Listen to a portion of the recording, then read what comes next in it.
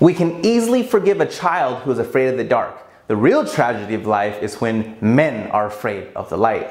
Plato. Every single day, no matter who we are, men or women or people, we're all given opportunity by other people. That is a fact. So many times people say, I wish I could be more successful, but opportunities never placed my way.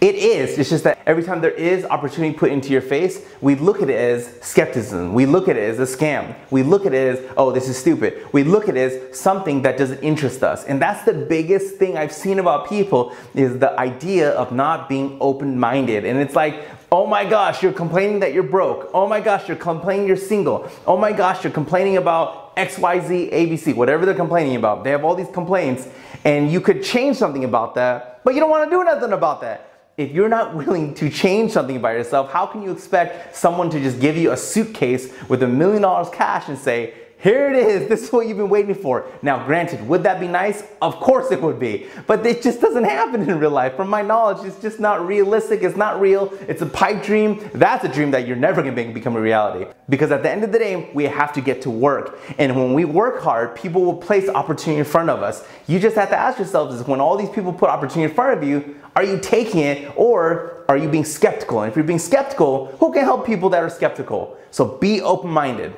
Thanks for viewing guys. If you enjoyed the video, push like and share today's video topic with all your friends. If you have any questions for me, find me on Twitter or Instagram at HsuMJames. If this is the first time you're watching any of my videos, new videos are released every single day. To be kept up to date, go to my Facebook page at The Official James Hsu and subscribe to my YouTube channel for even more content at Hsu M. James. Have a better than beautiful day and I'll see everybody tomorrow.